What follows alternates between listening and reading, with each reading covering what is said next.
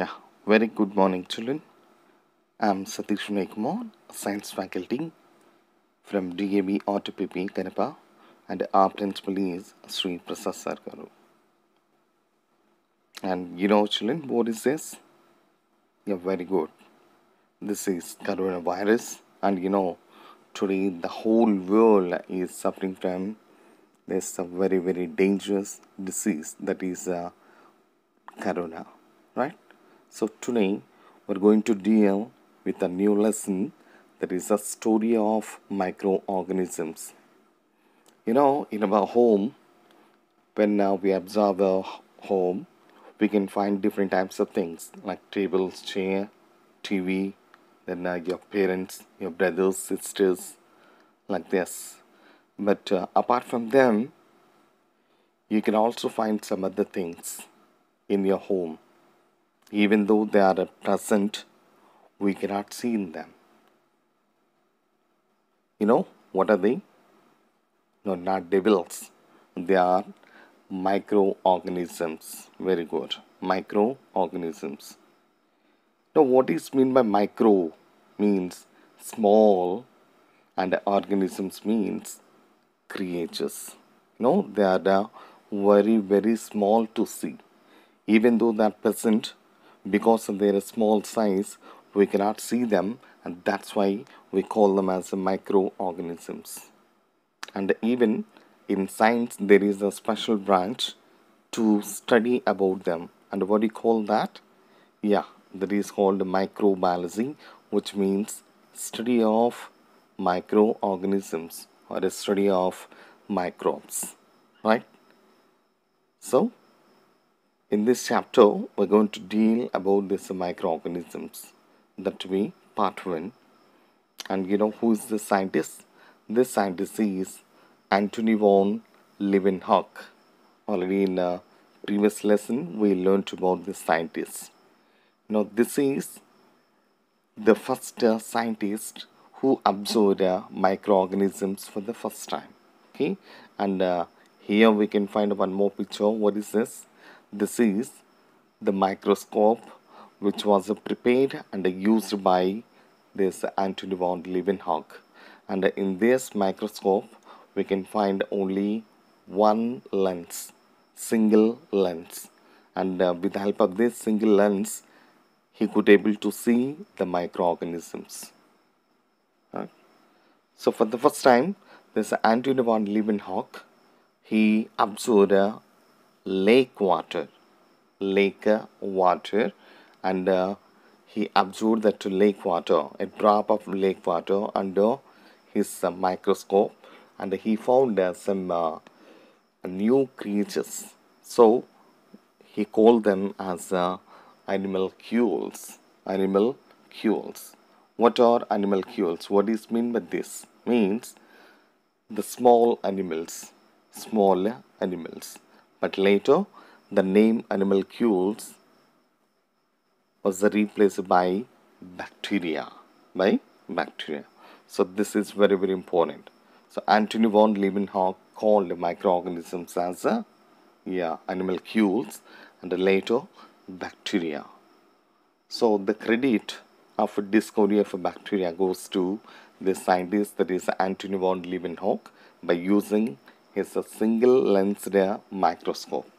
And you know what is the capacity of that microscope means it can magnify the microorganisms 300 times.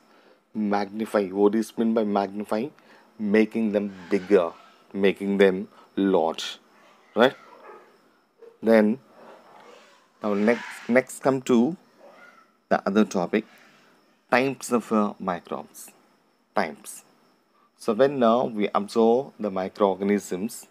We can find firstly virus then bacteria protozoans there are microarthropods. Actually these are not uh, microorganisms but uh, because of their tiny size because of their small size even we can consider as a microbes. And then algae and fungi algae and fungi so among them when we take uh, first four types that is viruses, bacteria, protozoans and microarthropods. They belong to animal kingdom. Animal kingdom, right? And uh, next to there is algae and fungi. They belong to plant kingdom. Got it? So the microorganisms belong to both the animals and also these uh, plants. So which come under animal kingdom? Yeah, that is viruses, bacteria, protozoans and microarthropods, right?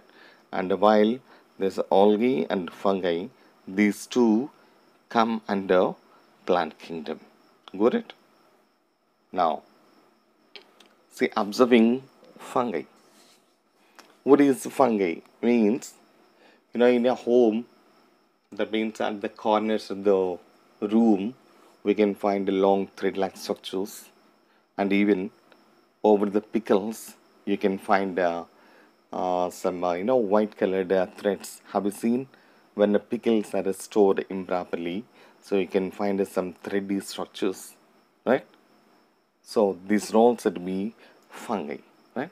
And especially in a rainy season now the rains are uh, going on okay? So during this rainy season when i go to outskirts that means over the soil over the wet soil we can find uh, what? We can find uh, some umbrella shaped uh, structures. Have you seen that? Over the soil the next over there there's a bark of the leaf a bark of the plants like this. Here we can find uh, what? Here small umbrella like structures. What are they? Yeah they are mushrooms. So mushroom is also a kind of a fungi fungi right? And this is the only edible type of fungi edible you know. Nowadays uh, there is a great demand for the mushroom okay? And uh, we prepare different types of food items and we eat that. And which is uh, very rich in a protein right? Equal to non-veg item right? And here you can find one more thing. See when uh, we preserve the uh, this bread in our home in open condition for a long time or when uh, the fruits and vegetables are kept over the table for a long time what you can find can you find any change over them after some time, after a few days? Yes. They rot. They rot. That means they spoil. And how you can say they are spoiled? That means their color changes. Yeah. See when uh, you observe the bread, see over the bread slice, you can find some uh, black or uh, ash colored uh, patches. Right? Have you seen? So why it turns into black color means here over that bread we can find this uh, structures and we call that as a bread mold. That is called a bread mold. And here what is this? This is another kind of a uh, fungi that is called aspergillus uh, which can be seen over this rotten fruits and vegetables. Correct so in this way we can find that and uh, how you can find these microbes means so from this uh, spoiled uh, bread uh, or rotten meat or rotten uh, fruits and vegetables.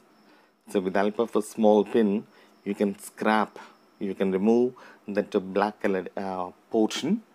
And then when we observe that under the microscope we can see the structure. That is a bread mold.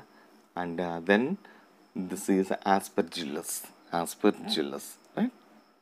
So these are the different types of fungi. The next one there is a bacteria. Generally where you can find this bacteria means the bacteria can be seen in uh, the buttermilk and a curd you know curd daily we use that as a part in our diet. The next uh, tongue scraping what is the tongue scraping means so in the early morning whenever you wake up from the bed if you carefully observe your tongue over the tongue you can find a white colored substance. Have you seen? Yeah, that is called uh, tongue scraping and uh, because of that, no, you can find uh, some bad smell in early morning from our mouth and even they can be seen over the soil, the next bark of trees, uh, over our skin, the next uh, in our armpits, then air, and even water. That means we can say these bacteria are present everywhere in uh, the planet. Okay, and uh, here in this picture you can find different types of uh, bacteria which are available in different uh, shapes. See, these are uh, uh, that is uh, rod shape the next uh, are comma shape then uh, oval shape then a corkscrew shape like that okay? So they are available in uh, different shapes and uh, sizes got it? So where you can find them? With the buttermilk and curd tongue scraping soil bark of trees over our skin armpits air and water right? And these are the different shapes of uh, bacteria. Then let's see observation of lactobacillus. What is lactobacillus means you know in our daily life uh, that means while we are taking this uh, lunch or a dinner we complete our lunch or a dinner by taking what yeah by taking a curd rice almost all the people they take a curd rice at uh, the end of their uh, lunch or uh, dinner right? And how you can prepare that curd means with the help of a bacteria that is lactobacillus. So lactobacillus is the bacteria that is responsible for converting milk into curd right? In the next lesson we can deal about all these things. Now let's see how to observe this lactobacillus. So first what you have to do means you can take one or two drops of uh, buttermilk over the slide and then you have to spread that. You have to spread that over the slide. Clear? And then put that over the candle or a lamp and heat that gently for uh, 3 to 4 seconds. Just that means at uh, low flame you have to heat it for uh, 3 to 4 seconds right? And then we have to add a few drops of uh, a chemical or uh, we can say indicator that is a crystal violet. This is very very important. So which indicator which color we use to observe lactobacillus means crystal violet. No it is violet in color. So just because of this indicator only we can see this lactobacillus. So without adding this uh, indicator no. Of course lactobacillus is present but you cannot see them. Okay? Why means in such condition this uh, lactobacillus will be transparent. It will be white in color and so you cannot see that right? And after adding this crystal violet just leave that for uh, one minute or we can say 30 to 60 seconds right? Without doing that without disturbing that keep that aside. And then pour the water over the slide gently. Just we have to pour the water over the slide. Okay then we can keep the slide under the microscope clear so these are the steps for it? And this is very very important for your long answer questions.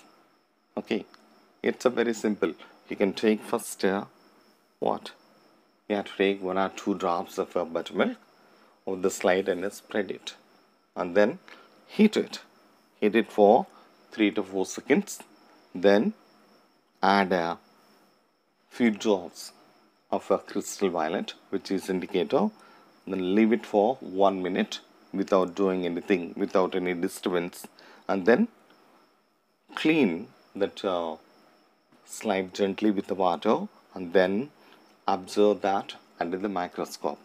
Then what you can see means you can see the structure like this. Okay. See under the microscope see you can see the lactobacillus like this in a violet color like this. Correct? But uh, what is this means this is also lactobacillus but uh, in enlarged form enlarged form. Clear?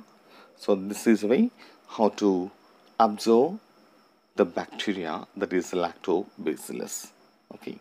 Now what is this children yeah this is very very important. And uh, daily so when uh, you go outside or when uh, you come back to the home you must use this uh, hand sanitizer.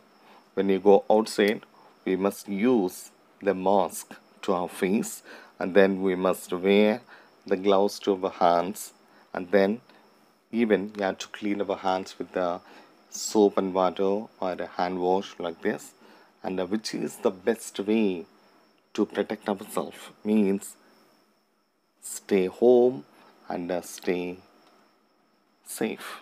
Right? Thank you and uh, have a nice day